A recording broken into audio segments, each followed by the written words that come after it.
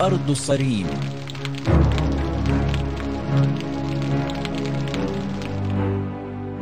أرض الصريم كانت في بداية الأمر جنة وإليكم تفاصيل هذه الجنة. ما هي أرض الصريم ولماذا سميت بهذا الاسم؟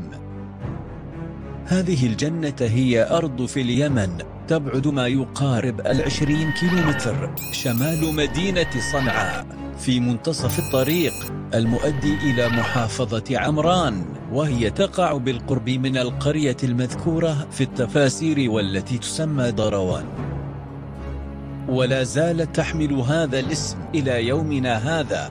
المنطقة كبيرة جدا وهي محروقة بالكامل. فعلا كالليل الأسود. كما وصفها المفسرون. وهي ليست أرض ميتة لا تخرج الزرع فحسب بل إنها تمزق الأحذية وتدمي الأقدام أحيانا عند السير والتوغل فيها لأن أحجارها حادة ومدببة.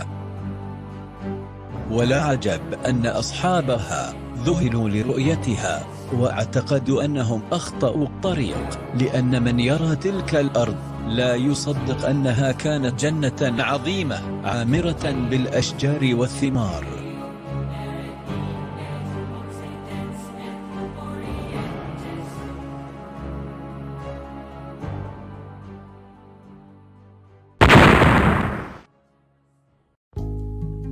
كانت بداية القصة بامتلاك أحد الرجال الصالحين في اليمن بستانا ذي ثمار وخير عميم.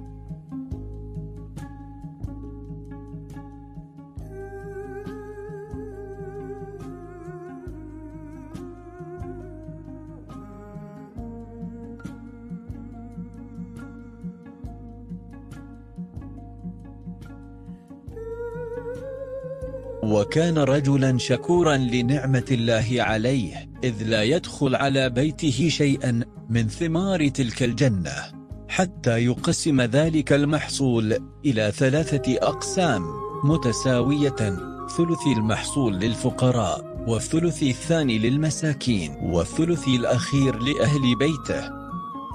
وبعد أن توفي الرجل الصالح صاحب البستان ورثوه أبناؤه الخمسة وفي تلك السنة حملت جنتهم أي أرضهم. حملا لم يروا. مثله في حياتهم إذ تضاعف المحصول عدة مرات. وعندما رأوا هذا الرزق الكثير طغوا وبخلوا به. وقال بعضهم لبعض لقد كان أبونا أحمقا. إذ كان يوزع ثلثي تلك الثمار والمحاصيل الوفيرة على الفقراء والمساكين. فقرروا منعها عنهم تلك السنة بحجة مضاعفة أموالهم الخاصة.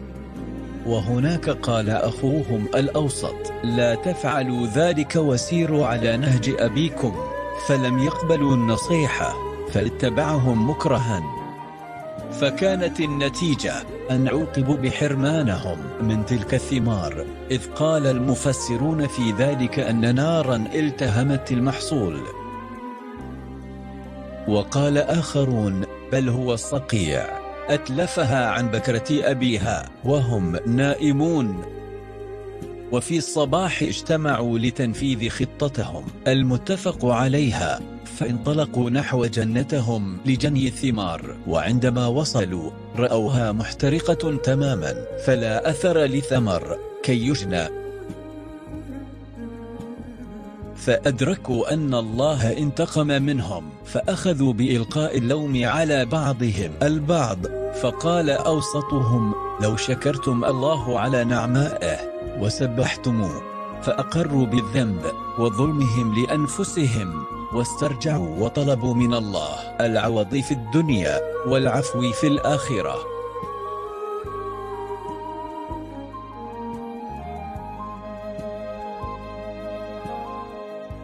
هذه القصة عبرة لكل أمة تمنع الزكاة وكل غني يبخل بماله وكل من يتهرب من إخراج الزكاة فعقوبته الهلاك.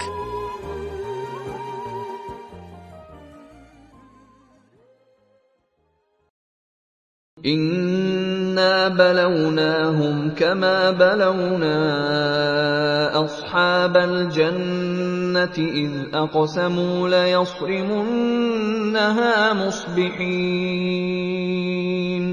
وَلَا يَسْتَثْنُونَ فَطَافَ عَلَيْهَا طَائِفٌ مِّن رَّبِّكَ وَهُمْ نَائِمُونَ فَأَصْبَحَتْ كَالصَّرِيمِ.